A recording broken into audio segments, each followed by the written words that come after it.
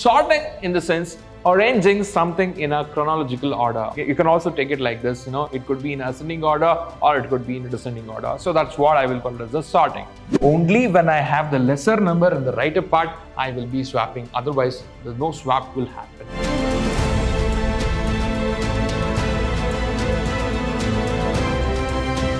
Hello everyone, I welcome all of you to the yet another interesting session on data structure, especially on searching and sorting. So yes, I welcome all of you to the world of sorting. So what exactly sorting is all about, sir? So guys, in this concept class, I will try to give you the best example and I will try to simulate how exactly sorting will happen. What are you talking about, sir? We don't know anything about sorting. Could you please tell me about what exactly sorting is all about? Yes, guys, without speaking all those things, it's time for all of us to check what I have in the agenda. In the agenda, I will be discussing two types of sort that is going to be bubble sort and insertion sort. So before I discuss this, let me discuss what exactly sorting is all about. Sorting in the sense arranging something in a chronological order. You can also take it like this, you know, it could be in ascending order or it could be in descending order. So that's what I will call it as a sorting. But when it comes to sorting, how many different ways I can sort is what a challenge for us. So guys, why do we have more than one way? The main idea behind this is I need to reduce the time complexity. So guys, I should make it very simple and it should not take much time or it should not take much memory for sorting. So that's the reason I have multiple different types of sorting. So guys, I will be discussing one by one in detail. Let me explain the concept, how exactly the sorting is happening. Okay, in this class, I will be discussing the first two types of sorting. So this is going to be the basic uh, type of sorting is what I can also just tell you. But we have six different types of sorting. The first one that we have is bubble sort. Okay. Second one, insertion sort, selection sort, quick sort, merge sort. And the last one that we have is radix sort. So this is what we will be discussing in our class. All right. So let's check what exactly bubble sort is all about and how exactly we are trying to understand the bubble sort. Let's check that. Guys, imagine this is the different passes that I have. Before I get into this diagram, I want you all to understand what is sorting. Say for example, I have 10, 40, 50, 60 and 20. So guys, this is the input that I have in the array.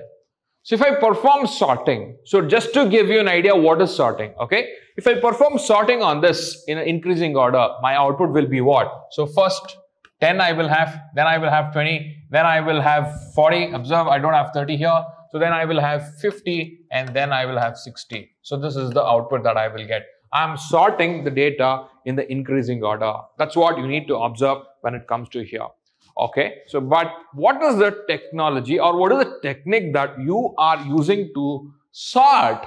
So that is what you need to understand, right? So that is what we need to study here when it comes to the bubble sort. How exactly the elements are being sorted in the array is what we are trying to understand. So fine, observe here I have a array, okay? So in this array, I have five elements. The first element is 5, the second one is 1, third one is 4, and the fourth one is 2, and the last one is 8. I need to sort this, okay, in the ascending order. How do I do it when it comes to the bubble sort? That's what you need to understand. So guys, I will take first to 2. What is that I will take? I will take first two numbers and I will compare. Okay, so which one is lesser? I will swap it there itself. So I have 5 and 1. So which one is lesser? So 1 is lesser. So 1 will come this side, 5 will go that side. So that's what you need to remember. So this is the first thing that I am trying to do in the bubble sort. Next, uh, in the next pass, okay, it will compare the next two numbers. So I get, I have 4 and 5. So which one is lesser will come to the left side. So 4 is a smaller one and 4 will come to this side and 5 will go to that side. Again, I will compare with the next two number. Alright, so 5 and 2. So which one is lesser? 2 is lesser. 2 will come this side. 5 will go that side. Again, I will go to the next comparison. So guys, here I will check. So do I have do I have lesser number in the left hand side? Yes, it is correct. Bigger number in the right hand side. So my condition is matching. So I don't have to swap in this particular point of time. That's what you need to observe here. Only when I have the lesser number in the right part, I will be swapping. Otherwise, no swap will happen. That is the most important thing that you need to notice here. So fine. So I got uh, the array and I'll go to the next swap. Okay. That I will call it as a second pass. This is in the first pass and I'm going to the second pass. So fine. Again, uh, I will start compare with the first two. Okay. So I will check. So guys, here my condition is checking. So right side, I have the bigger number than the left side. So there should not be any pass if that is the case okay there will be no swapping there no swap will happen when you have the bigger number on the right hand side so that's what i have here four i have and one in the left hand side which is lesser than the four so fine moving forward to the next two numbers i have four and two what is that i have four and two so obviously two is less than four should i have the swap or not yes you should have the swap so i will swap the number i'll go to the next pair now so four and five no swap will happen because it is perfect then again, I'll go to the next one. So do I have to do the swapping? No, I don't have to do the swapping. So I'll go to the third pass. So again, from the beginning. So we'll have, no, do I have the swap here? No, I don't have the swap here. Again, I'll go to the next two numbers, no swap. Again, I'll go to the next two numbers, no swap. And again, I'll go to the next two numbers, no swap. So when you don't have any swap, so you have got the swapped data in the sense you have got the result which is in the sorted order. This is how you will be checking for the bubble sort. When it comes to the bubble sort, you need to remember one thing. It will start comparing the two digits from the beginning. Whenever I have the right hand side, whenever I have the lesser number, I will try to shift or I will try to swap. So that's what you need to remember when it comes to the bubble sort. You need to remember this. Two numbers get swapped. Okay? So this is what you need to remember when it comes to the bubble sort. So this is going to be very very simple and easy to remember. All right so i'll show you the, some of the programs which will uh, help us to do the bubble sort. It's very very simple guys i'll make it very simple for all of you so i don't have to uh, i have taken the c uh, program you can also convert it into c++ by just adding cin and cout whenever i'm using the printf and scanf you just have to use cin and cout. So that's it. So there, there is no much difference in this. All right. So observe here, I've taken the array. Okay. So where I will be storing the array elements and I have the variables like i, n and j. So i and j is for the loops, for loops and n is to specify how many number of elements that I should have in the array which I'm going to take. Okay. And I have of course temp uh, because I need to swap. So I will be using a temporary variable too. So I will tell you where exactly I'm using this. So this is the variable declaration. How many variables you have? One, two, three, four, five. So totally five variables you are going to declare. All right. So guys, if you read one program, all other programs are free, only slight modification. So learn one program perfectly. Okay. Slight modification where you need to check, I will tell you that. So fine, this part, enter the number of elements to be sorted. So you are asking the user how many numbers that you wanted to store in the array. So you will specify that and you will store it in the variable n. Okay, n stores the number of elements that you have in the array.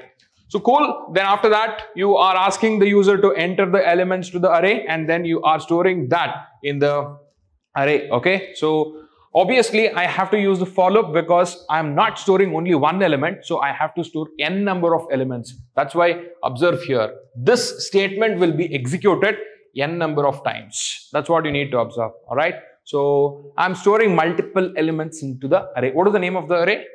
A is the name of the array. All right. So fine. So this part is helping me to store the elements inside the array. So cool. Then after that, so guys, this is very, very important when it comes to the bubble sort. So this part you need to take a little care. Most of the program, so you need to take the care. The logic is different when it comes to this part. How many times I will execute the main for loop? So n minus 1 time I will execute. So inside, what is that I'm doing? So j is less than n minus i minus 1. So this is the logic that you need to remember when it comes to the bubble sort. Okay. So j in the sense what? So why do I need i and j? So you will ask me, right? So guys, I need to compare with two uh, numbers, right? So for that reason, so guys, I and J. So I in the sense what? How many number of times, how many number of passes that it should run. So J in the sense one more variable which is working for comparison. So inner loop, that's what you need to remember here. So fine, uh, so here what exactly happening? So I'm just checking the condition. Observe here, A of j is greater than A of j plus 1. So what exactly A of j and A of j plus 1? Listen to me carefully now. So guys, this element, uh, observe here what I have this A, okay, or this array I'm treating it as A, okay. J in the sense I have the pointer J. A of J in the sense 5, okay. Observe here, my pointer is here. A of J plus 1, okay, in the sense what? So here 1. So this is what you need to understand. A of j in the sense this one, A of j plus 1 in the sense this one. So that's what you need to remember. Okay. What is the condition that I'm checking? If A of j is greater than A of j plus 1. So what exactly we are trying to do? We are trying to swap the numbers. Okay. So that is what we are trying to do here. This is, this is the logic to swap. So how exactly we are swapping? So I will create one variable called temp, okay, where it holds the value. What exactly it is holding? Whatever the value that I have in the A of j. Right now what I have? So right now I have 5. So that value I'm going to store in this temp now, okay. Then after that, whatever the value that I have, okay, in the A of j plus 1, I will try to store it to the A of j. Remember that. Whatever I had it in the A of j plus 1 is going to A of j. So what is the meaning of it, sir? So whatever I had it here, so it is going to this place. That's what you need to remember. Sir, then where did phi go? It is, it is stored in the temp right now. So that's what you need to remember.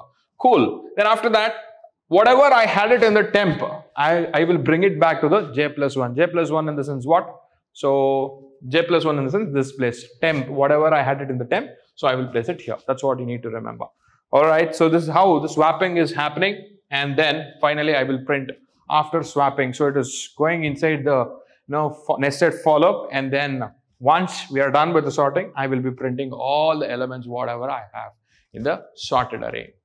This is how the bubble sort is happening. But when it comes to the sorting or especially bubble sort, so these two for loops are very, very important. So you need to observe i is less than n minus 1. The main for loop should run how many number of times? n minus 1 time. And when it comes to the nested for loop, so n minus 1, the whole minus 1. n minus i minus 1 time it should run. That's what you need to remember when it comes to the nested for loop. Alright, this is how uh, we need to understand the concept of bubble sort and some of the advantages that I have is all about bubble sort is a simple algorithm that sorts all the list of items in the memory and it is very easy to code, right? Straightforward approach and there'll be a little memory overhead. So that's what uh, things that you need to remember with respect to the bubble sort. Moving forward to the next one that we have Selection sort. How exactly selection sort will happen? So guys, it's very simple. You need to understand the concept. Very, very important, understanding the concept. So guys, observe here, I have how many elements in the array? I have four elements in the array. So what happens here? 30 and 20. So what I will be doing? I will compare these two elements. What I will be doing? I'll be comparing these two elements. So do I have, uh, what should I do? So I have 30 and 20. So when I compare, so which one is greater? Observe here. So I will just compare these two numbers. Which one is lesser? I will bring it back to the left side. I will perform the swapping operation. So I'm whenever you see this kind of diagram, you need to understand I'm performing the swapping. So this two numbers is getting swapped. So 20 is here, 30 is here. So fine. Then after that, so I will check this 20. Okay. I will check this 20 with 40. Okay. So there'll no there'll be no swap I'll not be performing any swap because 20 is lesser than 40, correct? So I don't have to perform any swap. But when it comes to 20 and 10, so what is that I have to do? Should I swap or not? Yes, you have to swap. Swap in the sense exchange the value. So fine, the 20 will uh, be going here and 10 will come here. This is how I will be swapping. All right, that's what you need to remember. And when it comes to the second pass, I'm done with the first element. Now I'll be going to the second element, what I have. So I have to compare this second element with all the elements, right? 30 will be compared with 40. So there will be no change because 30 is lesser than 40. Cool. 30 is compared with uh, 20. So obviously there should be a change because 20 is lesser than 30. So 20 will come here and 30 will go there. Swapping will happen. Then again, I have finished the second element. Next, I will be going for the third element. So 30 will be compared with 40. All right. So obviously 30 is lesser than 40. Swap will happen. So I got the swapped data. my array is sorted now. So guys, quickly, let me just bring it to your notice once again. So guys, what exactly is happening when it comes to the selection sort? So first, I will take this element, then I will compare it with each and every element. So that's what I'm trying to do. So whenever I find it, so the compared element is smaller than the element that I have. So I will per I'll perform the swapping. So that's what you need to remember. So first, what I'll be doing, I will compare this with 20. So is there any change? Do I need to swap? How do you get to know? So this element is less than this element. Yes, definitely you have to swap. Then after that, so guys, this element will be compared with next element. What that is 40. So yes, you don't have to swap. Again, this element is compared with the last element. Yes, do you need to swap? Yes, because this element is lesser than this element. So first position is done. Then I will go to the second position. Observe here okay? Once this position is done okay i will go to the third position. Once third position is done we are done. Okay? So like this one one position i will compare with all the elements what i have. This is how i will be performing the selection sort. So when it comes to the program again it is very simple. Rest everything is same. What we did with the bubble sort the only thing that you need to remember is n minus 1 and j is less than n. All right? So this is what you need to remember along with that. So guys the condition is different here.